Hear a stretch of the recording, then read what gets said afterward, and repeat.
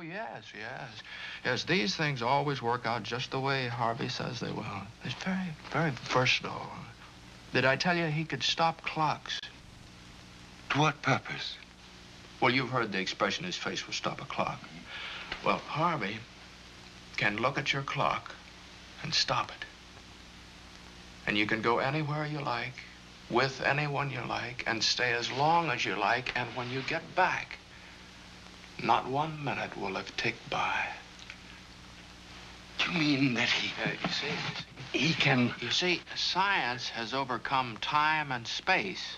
Well, Harvey has overcome not only time and space, but any objections.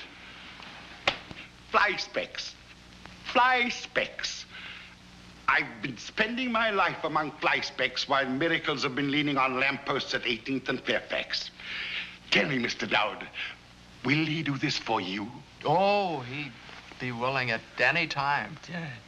But so far, I ha haven't been able to think of any place I'd rather be. I, I always have a wonderful time, wherever I am, whomever I'm with.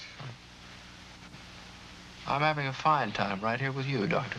Oh, oh, oh I, I know where I'd go.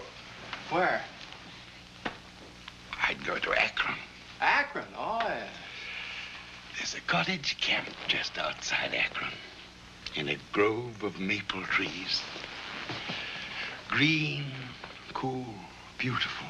Uh, that's my favorite tree. I'd go there with a pretty woman, Oh, a strange woman, a quiet woman. oh, under a tree. I wouldn't even want to know her name. Well, I would be just Mr. Smith. And I would send out for cold beer. No whiskey. huh? No. Uh. Then I would tell her things. Things that I've never told to anyone. Things that are locked deep in here. and as I talked to her, I would want her to hold out a soft white hand and say, Poor thing. You poor, poor thing. How long would you want this to go on, Doctor? Two weeks. Two weeks. Uh, Wouldn't that get a little monotonous? Just Akron, cold beer, and poor, poor thing for two weeks? No. It would be wonderful. Well, I, I, I can't help feeling, Doctor, that you're making a mistake not allowing the woman to talk. I, if she'd been around at all, she might have picked up some very interesting news items. And I'm sure you're making a mistake about all that beer and no whiskey, but it's your two weeks. Mr. Dowd, could he, would he do this for me? Oh, he could and might. Now, I've never heard Harvey say a word against Akron. By the way, Doctor, where is Harvey? Don't you know?